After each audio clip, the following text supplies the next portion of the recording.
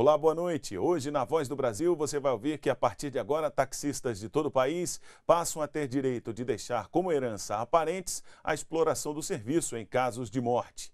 A safra de grãos 2013-2014 é recorde. Devem ser colhidos 195 milhões de toneladas.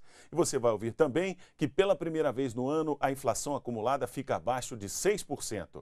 Estas e outras notícias daqui a pouco, às 7 da noite, na Voz do Brasil, em todas as emissoras de rádio do país. Até lá!